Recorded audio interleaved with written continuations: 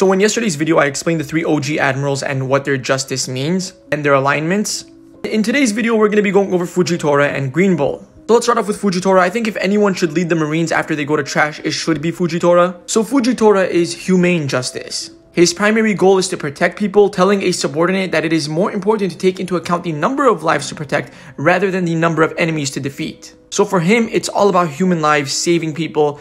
Yes, good leader, right there. Humane justice, perfect. Then we have Aramaki or Green Bull, and this man is basically a, Akainu bandwagon. He's absolute justice once again. He's a follower of absolute justice. There is no middle ground. There is no gray area. It's just black and white. If you're evil, he should eradicate you. Listen, if you want more One Piece content, anime content, make sure you follow me on TikTok. Subscribe to my channel. About all things anime manga related.